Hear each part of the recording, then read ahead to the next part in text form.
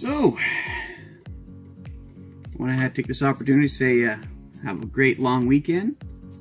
It's Good Friday tomorrow. We're going to have Easter Sunday, Easter Monday, and we're back to school next week. Although where we are, it's switching from a red zone to a gray zone, but they're not closing the schools. So that's good. So thank you very much. I hope you enjoy your weekend. I know I will. So be careful out there, stay safe, and uh, yeah.